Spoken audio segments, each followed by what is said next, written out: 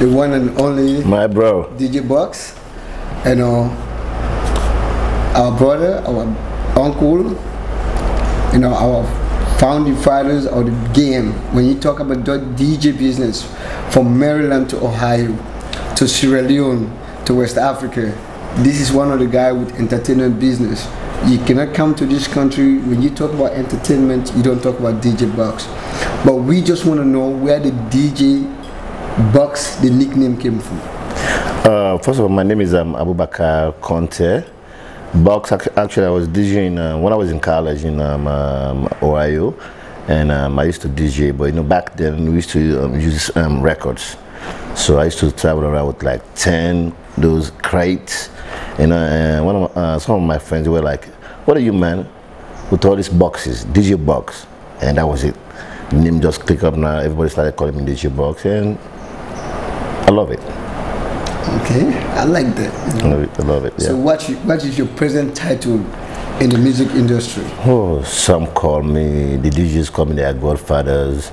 Some call me Papa by the game. Some call me advisor to the union. Whatever, I mean, the names are everything promoters, CEO, producer, anyone. I'm I'm okay. They can call me whatever, whatever they want. You know, like in Sierra Leone normally we people want to know like uh, and in our local language usa komot. You know, where's your place of birth? You know, your Yeah. village, you know, province. People Yeah. like to know you really. Yeah, actually, um, um, I was born uh, from the north Port Loko district, a small tiny village called uh, Magbele Ferry, Magbele, which is um, uh, the Rokel River, and uh, that's my heart, that's my love right there, my passion. Um, I have so much love for my village. I mean, I cannot even express the words, but I'm a villager in a way. So, Okay, that's a country boy. yeah, country That's boy. country yeah, boy. yeah. You know, for for those Americans, country boy. yes. You know, at the same time, you know, you know, when we when we doing this, we always like to know because when we were growing up, we were looking up to you guys, you know. But like people would like to know what was your really your childhood dream. Actually, my dream, because actually my dad, he had a club in Kenema um, called um, Kotawe at the age of 21. You know, and my dad, um, um, since my dad, um, he had a club in, in Yengema, from Kenema to Yengema. Then uh, also my older brother, he owns uh, the Village Beach Bar, Junior Sulbongo, and of course DJ Yusuf is, um, is my other elder brother. So I have entertainment in my family. So at the day, for me, you know, and um, I admire my elder brother so much that I had to copy from them. So DJing or the entertainment business is not something that I pick, I just picked out or pick up because I, I, mean, I just want to do it. It's uh, a family thing. So yeah.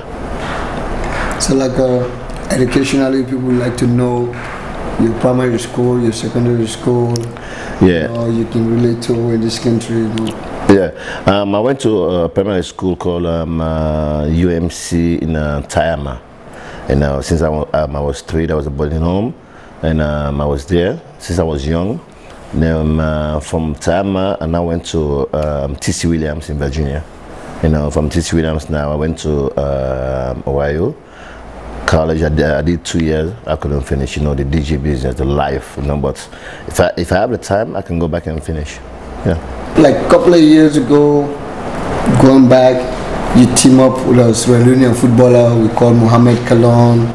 You guys came up with Cal Box. Kallbox, Yeah, you know. Kallbox, yeah. So we wanted to know like who came up with the idea and how this because he got us so much passion in the game too. So Mm-hmm. we want to know who came up with the idea for you guys to team up. You know, Yeah. Kallbox. Kallon, um, he's a clubber. Kallon, he loves music. He, lo- he loves um, um, salon music, and um, I've always supported on whatever he does. You know, and um, he loves. Um, um, he's a soccer player, football player. So at the end of the day, for me, I'm a DJ. So he had to come and support me on my own side of passion, which is um, music. So we decided to combine the name Kallbox, which means the Kall goes for Kallon, the box goes for, of course, me. So we created Kallbox, and Kallbox was, um, we created Kallbox just to kind of like help out. I mean, it, it was like a charity, you know. We formed Kallbox because, because of Daddy Saj and jungle leaders. They used to come um, to my office all day and just hang out, looking for somebody to pay for their studio fee. And after that, the Sergeant um, Young Leaders, then they, they, kept coming, kept coming. So we decided to just create like a record label, which we did. And um, from from then on, we had the X Project, um, the uh, DX3, the Basaphonics, name them. It was a lot of them, you know. From then from Kallbox now, I decided to go into business. So and I told that I said, listen, I'm not charity, it's business. That's how the box production came. You know, because for Kallon, he's a rich guy. I'm not, I'm not a rich guy. I was done helping. Now it's time for business. So I delete the, the, the car and maintain the box. I mean, there's so much potential into this uh, the salon music industry, and for me, music. I mean, music uh, is my life. You know, without music, I don't even know what I would do. Okay, That's good. Like uh, being in the like uh, in the industry, one of the pioneers. You know, with like uh, people like Jimmy B, Steady Bongo, you know, with all these issues, what, like, why do you think like is the real shortfall in the music industry? Well, at the end of the day, you, have someone like um, Kim Milan, Kingfisher, um, Jimmy, and of course Steady Bongo. When I came back home, they were doing their, their thing. So that's why I have so much respect for them. But I think they they have done theirs, and I think they're still doing uh, um, what they can. But then we came in, and I believe then uh, now you guys are coming in. You know, so it's like, you know, it's step by step. But uh, then it's like by stages. By stages. At the end of the day, uh, obviously, because for me already, I know it's time for me to go, and I'm ready to go. And I'm more, I'm more happy seeing guys like you, who are more focused. You know, you know what you want to do in life you know, and uh, at the same time, you have the passion just like me. It's not about money. It's about putting SL there. It's about the game. The game, you know what I mean? So, you know, so for me, it's like, um, I'm happy right now. I know because um, uh, that somebody's going to pick up after me. You know, just like we pick, uh, we pick, we pick up after Jimmy and them. You know, and uh, uh you know. I, I, I feel you. I yeah. Feel you, man. you know, yeah, it's a game thing. Yeah. So, like, do you really think, like, you know, people appreciate your contribution in the industry? You know, like, uh, Let me tell you one funny story. At the end of the day, I mean, it's like, you know, um, we have the social networks now, like the Facebook. You have, you know, always the small dog, the small dogs, the backs, the backs at, uh, at, at, the bigger dog. To, to have their, their, their five second fame. So at the end of the day, I don't listen to these guys. Just like um, two days ago, Daddy Saj came, out, uh, came to me. He just came back from the States and he was thanking me. And he, he was like, you know what, without, uh, um, he was like, you know what, Papi, I don't know, I don't, I don't even know if I could have, if, if I could have done what, I, what I'm doing right now without your help. So he just came to pay respect, thanking me. Alonzo is doing it, Young is doing it. For me, that's my reward. It's not what the next man is saying. Because at the end of the day, most of these guys, they don't even know me. They have never met me, or maybe they will know me, but I don't know them. So at the end of the day, you know now Sierra Leone, our culture is uh, it's all about if they can be you, don't hate. So I know that for sure. No, I've been I've been popular and famous for the past 15, 20 years, so I'm used to it. But at the day, for me, my reward is uh, when I see I'm uh, uh, I'm part of something that you know, like someone like Alonzo, you know, the jungle leaders, the X projects, the Daddy Saj the Lady Felicia. For me, they are now, you can call them now, they are, they have a success story. Okay. You know, so for me, I'm part of it. And they, they know and appreciate what I've done for them. It's not about you out there who don't know me. You don't have to appreciate me because I didn't do it for you. I did it for them. don't judge me. Yeah, exactly. Don't judge me if you don't know me. Yeah. You know, and it seems like uh, lately like from 2010 things are just blown out you organizing international event people right. coming from other countries they right. have to go through DJ Boxx right. doing this you know how do you come about this well basically i'm, I'm, I'm, I'm i created a link you know to be a promoter or international promoter, you have to have the links. So I created the links whereby uh, I'm part of um, I'm bringing P-Square, the Akon, the Biniman, the Martin, the um, um, Jody, um, uh, and the, flavor, um, the flavor. Actually, Morgan, uh, Morgan everything was brought brought in by Shaba and, and the okay, mayor. Okay, yeah, okay. yeah, yeah. I wasn't part of it, but actually. Um, um, my connection is so big now in West Africa, where about I can just call any African, uh, any West African act um, to come in without even paying um, paying any deposit. You know, so at the end of the day, for me, and the goal for that, because to tell you the truth, the Nigerians rule the African music industry today, not even West Africa, the African in, in, music industry. So for me, I want to bring them in whereby we can uh, kind of like motivate our brothers and sisters here you know, and try to see if they can do collabos. And and one thing about Sierra Leoneans, you know what?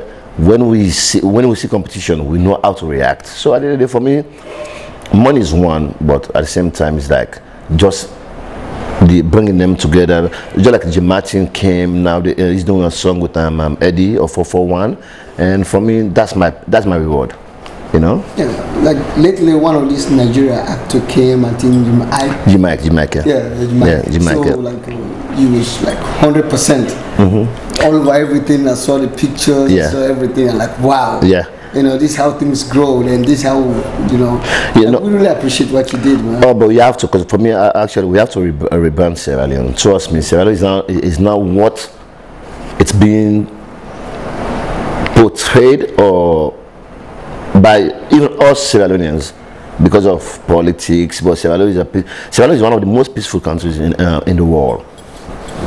Sierra Leone is religious, religious tolerant. Sierra Leone is um, um, tribal tolerant. And also, let me tell you one story. When uh, Jim Iyke came, he called me. He was like, "Yo, let's go to the club." I'm like, "Okay, I, am coming."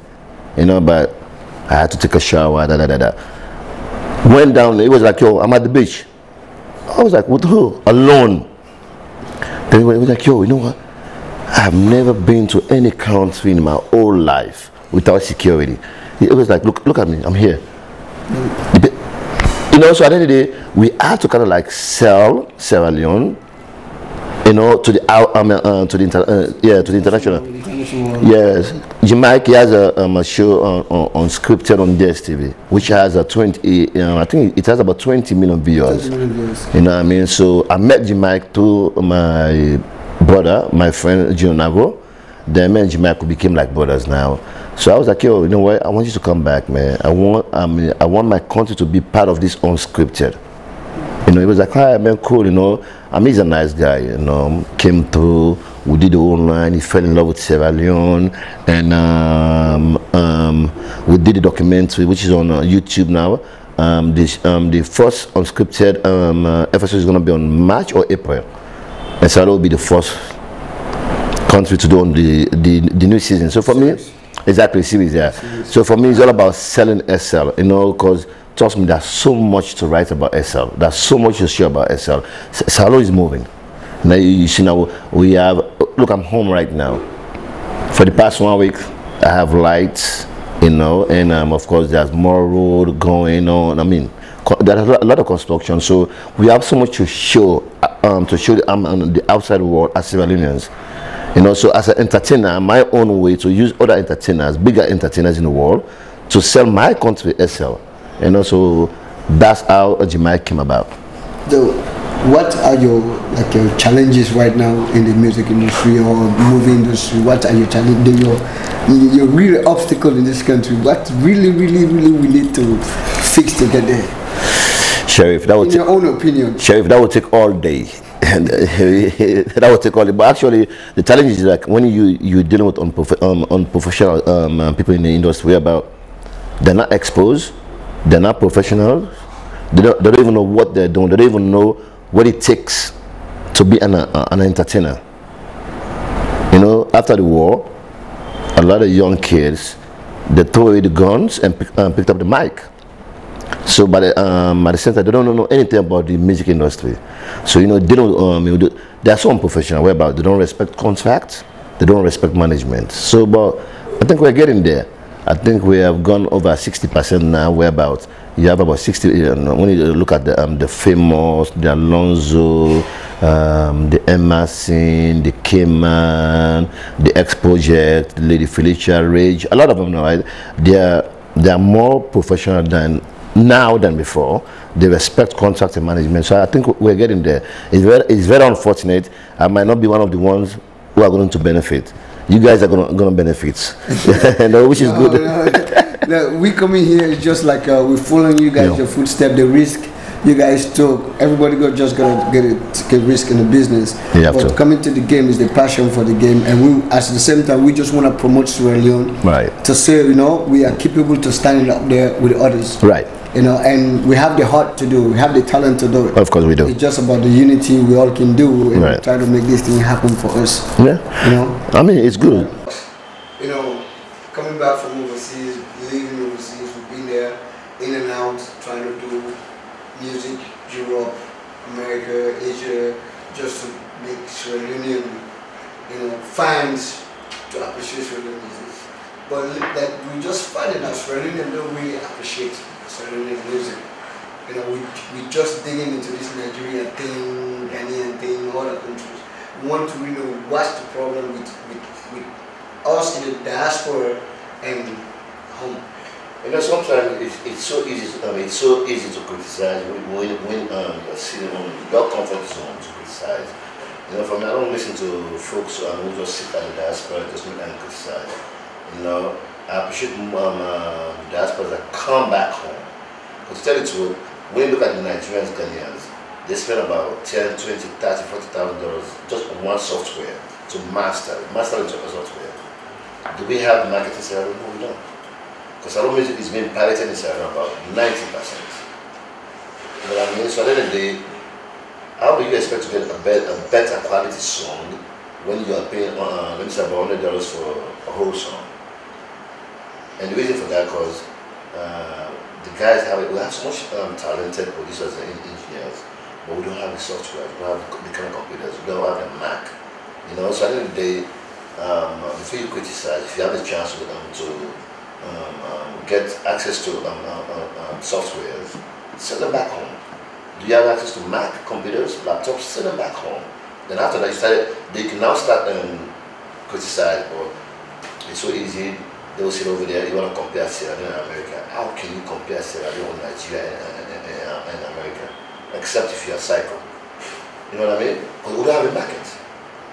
But Sierra Leone can be the Jamaica for Africa. Jamaica is all about less than uh, less than two million population, but they are ruling the world. But guess what? They have what what it takes. And but guess what? It took Jamaica decades to get where they are now. So as for Sierra Leone, not only do, the only thing we need now, we need um, quality equipment, you know, business-minded uh, folks, and somebody who can just come and pick, um, pick, um, pick up where we, because for me, I'm figuring out, I know I'm, I'm really Yeah, let's just take like Leone in the diaspora who like the game have to step in Yeah, to invest more. They have to. Music industry. They have Just have to invest. yeah, yeah, they have to invest. We everybody's taking the risk. you. Yeah. We're not here for fun, but we're here to make things change so our country can be represented. And you guys are the example. Sheriff, your, um, I can tell you appreciate Salon Musical because you know why? You're here now, you're I've saying seen it. Exactly. I mean, what, what, yeah. exactly. Most of those guys, they, they haven't been in Salon for the past 10, 5, 15 years. They will, they will just sit, sit somewhere in Europe or America and talk about yeah, yeah, yeah. No, I don't want to hear that nonsense. Bring yourself to Sierra Leone and see what we go through before you start, I mean, before you criticize. Because at the end of the day, trust me, we have so much talent in Sierra Leone, but we need investment. We need investors. You know, so at the end of the day, without investors, how do you expect quality music? You know, the, the, um, the Nigerians, um, I think um, for 2013, just the entertainment industry in Nigeria, they made $4 billion. Exactly. that's big. That's big. That's big. You know, but for us, for me, sometimes I don't even want to hear the word. I mean, I don't even want to hear what the diaspora say because diasporas out there, most of them, Facebook is not Sierra Leone. No, no, it's not. Twitter is not Sierra Leone. that's- Exactly. So at the end of the day, it's not what you see on Twitter or Facebook you comment on. Come home that's it. and see what we go through to do a show in Sierra Leone. To do, to do a, a show in Sierra Leone, it's almost impossible. Exactly. To promote a song in Sierra Leone, it's almost impossible. As a businessman, I would even promote any act in Sierra Leone if I, if I think business wise, uh, uh, business wise. Because at the end of the day, we have a market. It's not profitable. Whereby now you have the DJs, they want they, um, they want to be paid. Yes, up front. Exactly. Which I think I mean it's their right to be Yeah, paid. yeah, yeah. But at the end of the day, do we sell music in Sierra Leone now? No, we don't. Do people go to shows? No, we don't. So Now what we need to do is sit back or go back to the round table and see why are Just strategize. Exactly. At the end of the day, it's not about criticizing this. Involve everybody, There you know. go. There you go. You know. Because sometimes I was in Bo and like I've been around the provinces. I see how Sierra music is growing in the local. Yeah. You know, these people appreciate their own music. Oh yes. If the, if these artists come from Bo, they appreciate this Oh, yeah. artist so much. The Yeah. show is packed. Oh, yeah. It's this and that. Oh yeah. So now, like uh, our question is like, how do you guys looking for talent in this country? How do you get to get to the provinces? Like, let me say, Kambia, Mm. Kabala, Pujehun, all this. How can you, how you guys bringing these people from the provinces to make it like uh, something national? Back in the days, uh, from Kallbox to Boxx Production, we have done about 10 national tours. We used to go nationwide and look for talents. But now we have grown past about start now. They now come from um, they, they now come looking for box production, which is good. But, but at the end of the day, it's not easy because as a businessman, we cannot even run even in that area um, in terms of expenditure. So every day instead of we increasing the number of new acts, uh, we decrease because I mean we don't make money. Then you also have the ungrateful or the ungratefulness of artists. You know, at the end of the day, they only use you when they need you. Like one song blow up, Back they're they're gone. okay. It's just like okay. You know what I mean? Exactly. In local language, say, me say don't do. Me say I don't- grow up. Yes, I mean, so I I, don't study. I the cat feather. Yeah. You know, yeah, yeah. But It's happening, you know. no, it is, it is happening, and it's killing. Uh, it's really killing the, um, uh, the industry. industry. It does. It's killing the industry. But it's very appreciable. Like sometimes ago, I had, you know, this program on radio when I have this competition. I had people coming in, came first. I don't know if I've received sponsored or something. I had uh, Kim Milan, Yeah. you know, Kingfisher on radio. Okay, yeah, okay, yeah, Yeah, yeah. yeah. Actually, that was done done by one of the biggest radio stations in Sierra Leone, 98.1. Demo, uh, radio Very democracy. democracy, right? Yeah. Yes, yes, yes. Which is good. I mean, because I didn't. It's really good for the country too. You Very know? Good. Yeah, very good. And, and um, um, uh, I couldn't go to the show, but um, the feedback that I had back, and I saw some uh, footage, some video uh, uh. That time, that was, um, um, it was a good show. It was a great show, and I just think and believe that we need more investors in the in the industry, and we have to start thinking as business people Exactly. you know, and, and stop all. They're about, oh, this is a ball, this is a grab. And at the same time, you know, you, you cannot do something in Sierra Leone where politics is not going to involve. Mm. So what do you really think poli- is politics affecting the music industry or politics is just doing something to the industry? Movie, music, what politics is really doing to, to let me say the step back because The industry. yeah, to the industry. Well, uh, it's funny, it's really crazy because uh, in Sierra Leone, everything now is, is politics. Food is politics. Football is politics. Everything is politics. But um, at the end of the day, um, um, the, some, some of the musicians, they don't think, you know, and uh, like you see now, some musicians, they're, they're, they're, I mean, they're sinking their career, some are bigging up their career. So it, it, it all depends on what is your view or where do you want to take your career? Which angle you want to take your career to? So at the end of the day, it's up to them. But obvious, there's always going to be politics into music. You know, music and politics, they can work together. So it all depends the party, how they play the game. You know, some party, they will want to use the music industry and fail. Some will use the music, music industry and succeed. So it all, it all depends the strategy of uh, the political party. Now, like uh, as we're coming to the to the final or the end of the interview, you know, what is like uh, in the next four or five years? What do you think are the goals that you think we can do or whatever we have to we have to do to promote Leone music? Why? How do you want to see Leone music in the next four or five years? Mm, I want to see some. I want to see Salon Salon music um, on, on MTV channel or you call it. I want to see Sierra Leone on the Kora Awards. Um, I want to see Sierra Leone artists um, on ZET Awards. Yeah, you know, and one thing that I'm really impressed with His Excellency, we had a meeting with um, His Excellency. It was a challenge between the entertainment industry and him. is willing to invest in the, in, um, in the music industry right now. So Jimmy B, myself and others, we have worked tirelessly to kind of like restructure the industry, which uh, we are working on right now. Maybe in the next couple of weeks or so, we are going to present a proposal to um, His Excellency President and see how far go. Because now even if we want to print CDs, we have to send to Nigeria to print CDs.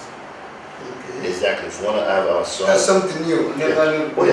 Oh, yeah. before. That's Oh, yeah. Oh, I just, I just thought everything was happening here. No, no, because Super Sound is gone. So now there's only Super Sound. So now, if you want to have like um, a large qua- uh, uh, quantity of um, printing CDs and uh, quality, you have to send either Ghana or Nigeria. And um, even posters, flyers, because it's too expensive to do posters in, in, in, in, Sierra Leone. Everything is too expensive because actually um, the printing guys, they're not part of the entertainment industry. Okay. So I think we have to kind of like, yes, to like try to you know, create have this connection, you know, There you go. so you can know like when you come to, mu- to music, you gotta do things There, there you go, there you go. So I really for me, it just I mean, um, we had we, uh, we had um, over we had, uh, we had over ten meetings um, with the president, and um, he has motivated um, um, the, the industry as a whole. Whereby now everybody's now thinking big, because he was like, well, guys, listen, you guys always think small, think outside the box, think out of um, um, beyond Sierra Leone. You know, so he threw a challenge, and we're working on that challenge. And I think after that, um, after the proposal, if, if the government decides to implement the proposal we have for them, I think Sierra Leone is, um, is going to. Because for the talent, we have the talent. We just need to be business minded, you know, very professional. The keyword is um, business minded, and just stop this whereabouts. It's all about field A, by sharing, by what do you, no, no, it's all about whereabouts. Hey, by sharing, not do business. Let's do business. And I think when we get to that point, then we are ready to move. And I think we're, we're getting there. I want to prolong it, but I'll stop it for now because I want to get to the piracy. But wait, I will just hang it on for the for next time. But if you think you want to give us some something about what you think the policy is about, if the policy is very effective, or the legislation, the act is very effective for about piracy in this country, you know, why we keep losing money, like you said, losing money. Well, uh, Parliament has passed the law, piracy law, but I think the government is not doing enough to implement um, the law. And without government implementing the law, we cannot take the law into our, uh, into uh, our own hands. You know. So at the end of the day, just about two weeks ago, um, there was there was a guy caught. He was um, he printed um, Jimmy B's um, new uh, uh, movie, a lot of copies. So they they're, they're in court right now, but I think the government needs to do more they're, they're dragging the feet of implementing the, the, the act. But without them um, implementing the act, we're just wasting our time. Because at the end of the day, I'm not going to do music, because for now we just work with the pirates. You have these um, um, um, guys, uh, uh, they're bu- buying these massive um, houses from certain pirate, um, pirate companies. And um, the industry, the artists, the CEOs, managers, we are not getting, any losing- returns. they're seen it before, like in the States, Yeah. you see the artists will go out to the street just looking for pirate, just break, Yeah, you know, just break things, you know, it's not supposed to happen, like, you know. Yeah. But like you said, you know, if the policy, if the policy is weak or the implementation is weak, Yeah. you know, everybody gonna lose. Of course. But like, uh, like, and the other thing is, is like, uh, in Sierra Leone, what do you think the music industry can contribute to youth employment, youth violence, youth this? Because we having so much problem in this country, just like every other place. Yeah, But yeah. the contribution to it, you know, to reduce these things off the street. I don't know, like you guys being in the game too much, how to persuade, this youth Yeah. to come, you know what, come show your talent here, leave the street over there, leave this over there, just get it again. Right now, you have, you, you have um, um, we have over 8,000 youths who, um, who get their living from um, the music industry. Or, not even the music industry, entertainment industry as a whole. And um, I think um, um, that's, a, that's a large number. And um, uh, for, for the entertainment industry, I think we have contributed a lot to the um, national development.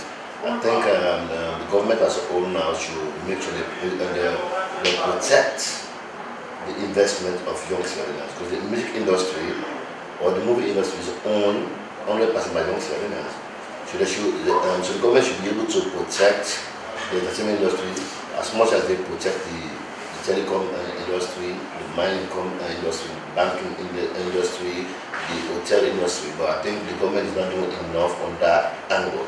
I think they should do more because at the end of the day, whereby young people create their own employment, about 8,000. I think um, I think um, we, um, we have done a lot. So uh, we are now just waiting for government to do that, their own part of the, the, the banning.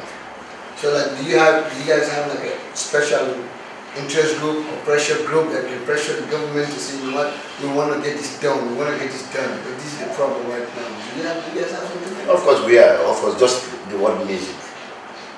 It is a, a pressure group, you know, because you know, musician, when, when, uh, when we sing against, or we sing for, uh, the folks have a, they do listen. So at the end of the day, um, I think this, this government has a good relationship with the entertainment industry because of what they're doing, the development we are seeing. So we are now negotiating, uh, negotiating uh, behind closed doors to see how best the, the law can, uh, can be implemented. But if not, then at the end of the day, we have our, our own weapon too as, as entertainment industry. We can do movie about piracy. We can do uh, uh, music about piracy. So at the end of the day, I think um, since the, the, the president is willing, and then the, to tell the truth, he has been calling, Boxx, how far have you guys gone?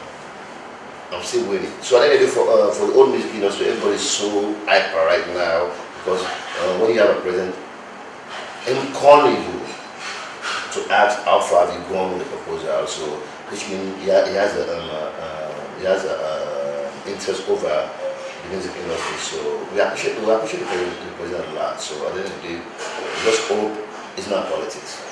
Yeah, just hope that it's not politics. That's the good thing. Like, as, as, we, as we come to the end of it, Mr. Boxx, I really appreciate you as a brother. My brother. The pioneer of everything. Exactly. You know, it's been a while, man. All right, man. Take care, Thanks, man. man. And I really appreciate coming to your house, just chilling, you know. Now, Now, it's, it, it's Guinness time, start. You know, so we're gonna have a bar and just relax. yeah. It's how we do in Sierra Leone, huh?